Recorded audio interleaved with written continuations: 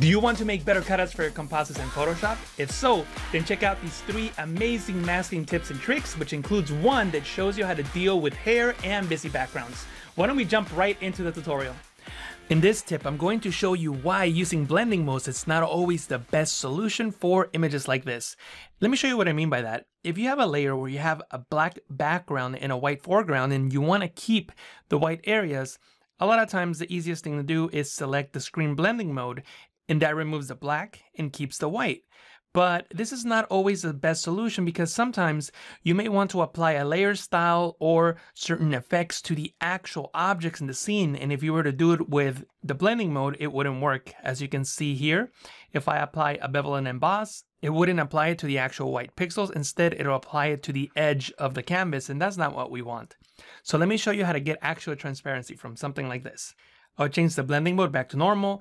And from the channels panel, you can see all the channels that make up this image. In an image like this, all the channels will be exactly the same. And all you need to do is hold control on Windows, command on the Mac, and click on any one of these channels so that you can load the bright pixels as a selection.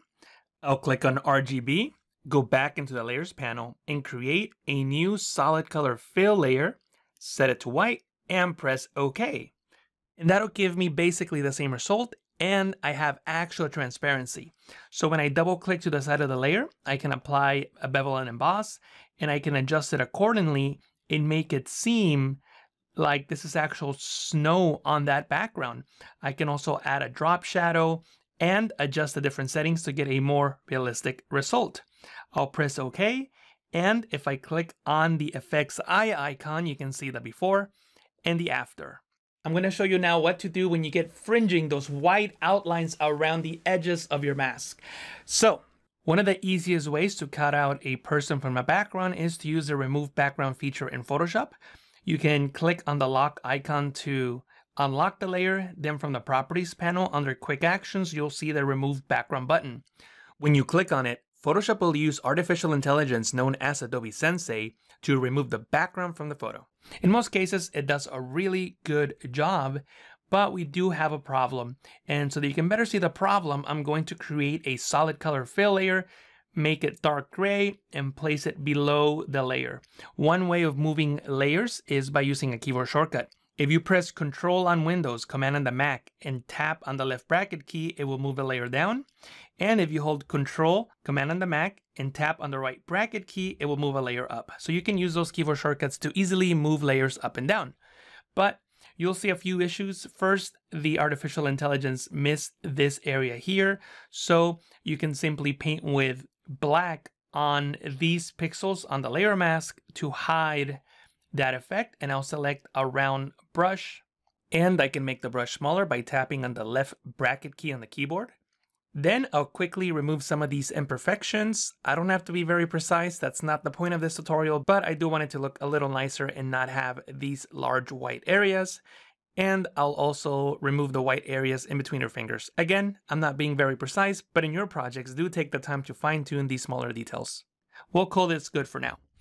But what I want you to focus on is these white edges.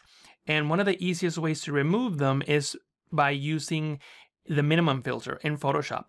If you go into filter, other, you can select minimum, make sure that the layer mask is selected, that the focus, the white outline is on the layer mask, and then you can contract the mask by a number of pixels. In this case, we probably don't need to go so far. So I'll just adjust it accordingly until the edge halos are gone.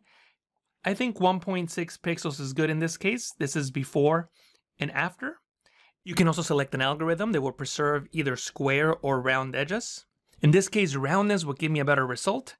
So I'll press OK. So all the edge halos are now gone from my image. What I can do now is select the layer mask and click on select and mask. And I can simply smooth out those edges and apply a little bit of contrast to make those edges sharper. And I can press OK. And this is an extra tip. What I can do now is work on the hair. So I always like to make all my edge adjustments first and leave the hair to the very end. So I'll go back into the select and mask workspace, select the refine edge tool, and paint on the edges around her hair to reveal those hair strands. When you're done, just press OK and that will look much, much better. You can always go back if you missed an area. It looks like I missed an area right here. You can go back into the select and mask workspace by double clicking on the mask and I'll change the view so that we can see the onion skinning mode and I'll just paint over these edges here just to get a better result like so and I'll press OK and that looks much better. The mask is not perfect but that's okay. I can always paint with black to hide or white to reveal. So I'm going to reveal this part of her shirt and that looks much, much better. The next bonus tip for this section that I'll show you is what to do with these flyaway hairs. And what you can do is create a new layer and clip it to the layer below. Control Alt G on Windows, Command Option G on the Mac to make a clipping mask. Now everything on this layer will only affect the layer below. And I can select the brush tool and I can make a larger brush by tapping on the right bracket key on the keyboard and then holding Alt on Windows Option on the Mac to temporarily activate the eyedropper tool and just select the hair color that is right next to the edge there and paint. And I can just keep painting on those edges. For these areas, we're gonna have to use a different layer. So I'll create a new layer, Control Alt G, Command Option G on the Mac, and find a light color like this color here and paint over those edges. And the trick will be to use a blending mode to get better results. With this layer selected, I can change the blending mode to darken so that that effect is only applied on the brightest pixels. And if it's too strong, I can always bring down the opacity. The point is, is that I don't want any white hair strands. And of course, the more time that you spend fine tuning these areas, the better results you'll get. The next step would be to do exactly the same thing on the other side. In this next tip, I'm going to show you what to do when you have hair that is very difficult to select, like in this case here where the background is very busy and her hair is very fine and very bright. And there's definitely no contrast between the foreground and background. So we'll start with what we did earlier. I'll select this layer and then click on remove background just to see what the artificial intelligence does. And it does a fairly good job. It's not that bad considering how busy the background is and how fine and bright her hair is. And to better see her hair up against the background, what I'll do is create a new solid color fill layer and I'll make it a dark gray. And there's several things you can do. I'm going to press Ctrl J, Command J on the Mac on this layer to duplicate it and I'll work on the layer on top. And the first thing that I would recommend that you do is see if you can improve this layer mask. So with the mask selected, you can go on select and mask and then switch over into the black and white view and with the refine edge tool, just click and drag over the edge and see if you can get an improvement on that selection. Basically, what you're trying to do is avoid these blurry areas like I have down here. And it may be difficult to do in this case, but I'm still going to try and see what the result is. But as you can see, I still get a lot of blurry areas, so it probably won't be that great of a selection. Again, it's not terrible considering how difficult it was to select, but definitely not ideal. So what I'll do is I'll just delete this layer and duplicate this layer one more time, Control J on Windows, Command J on the Mac, and I'm going to show you something else that you can do. I'll select the lasso tool and I'm just going to make a selection around the hair that is out here on the edges that is just way too difficult to select. Like so. Then I'll fill with black on the layer mask so that I can hide those pixels. Black is currently my background color, so I'll press Control and Backspace to fill with black so that now I just have this straight edge, which obviously doesn't look very good. But what I can do now is find an image that does have easy to select hair and create a brush out of it so that we can use it on this photo. Let me show you what I mean. I have this second image here and in this case her hair is fantastic. We can definitely see the separation between her hair and the background. So I'll create a brush out of her hair so that I can use it on the other image. First, I'll select the crop tool and I'll crop the areas that I don't need. Basically, up to this area here is good. I'll click on the check mark to commit the changes. Then I'll go into the channels panel and I'll look for the channel that has more contrast between her hair and the background. And it looks like the blue channel does have more contrast. So I'll duplicate this channel by clicking and dragging it into the new channel icon. And what I'm going to do is press Control I on Windows, Command I on the Mac to invert. I want to make the things that I want to keep white and everything else black. So what I can do now is go into image, adjustment levels, and just make the background as black as possible. It's already black, so I don't have to do too much work. And then everything else as bright as possible. And you can adjust accordingly until you get the results that you want. In this case, something like this will work. I'll press OK. I'll select the lasso tool one more time and I'll just make a really quick selection over these areas that didn't get converted into white. This should be completely white. And I'll add this area here as well by holding shift and clicking and dragging. Then to fill with white, which is the foreground color, press Alt and Backspace. That's Option Delete on the Mac. Now I can load the bright pixels as a selection. So I'll hold Control on Windows, Command on the Mac, and click on the blue copy thumbnail to load the bright pixels as a selection, as I said. Then I'll click on RGB, go back into the layers panel, and hide this layer.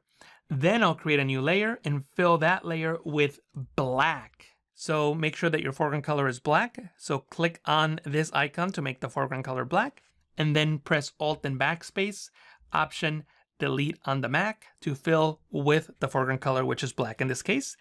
Then I'll press Control D, Command D on the Mac to deselect. What I'll do now is create one more layer and fill that layer with white. White is my foreground color, so Control Backspace on Windows, Command Delete on the Mac. And we can turn this into a brush. So I'm gonna go into Edit, define brush preset. I can call this curly hair and press OK. Photoshop will then automatically activate the brush that you just created and you can paint with it. When I go back into my working document, you'll notice that the brush is so much bigger than the image I was working with, and that's great. You can tap on the left bracket key on the keyboard to reduce the brush size. Then you can do one of two things. First, you can try painting with white on the layer mask, to reveal the edges and see if that looks realistic. And in this case, I think that it's working fairly good. Remember that in Photoshop 2020, we got the ability to rotate the brush with a keyboard shortcut. So if I tap on the right arrow key on the keyboard, the brush rotates and I can continue painting on edges like so. Or you can use the angle control in the options bar. Totally up to you. But the point is, is that you can now simply start rotating your brush accordingly and painting on the edges so that you get the result that you want. And obviously you can resize your brush and paint on the edges like so. Also, you can create a layer underneath everything else, make the brush a little bit bigger, and then hold Alt and Windows option on the Mac and click to select the color and paint with that color as well to get better results. And I can just keep doing that over and over again on different areas until I get a much nicer edge. So this is way more realistic than what I had before, which was this here. As you can see, the edges don't look as good.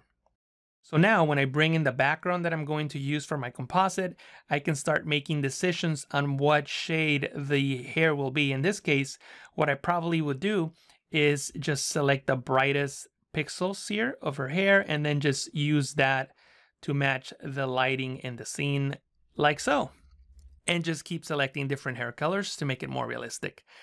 When I zoom in, you'll see that the edges are looking pretty good. However, you do need to watch out for these areas that have straight edges. So you definitely will need to select the mask, select that same brush and paint with white with a small brush on those areas just to make sure that the edges are not straight. So you can keep panning around the image by holding the space bar and make sure that there are no straight edges on the mask. And I think this looks pretty good. I'll double click on the hand tool and enable this layer. And obviously the more time that you spend fine tuning these smaller details, the better your results will be.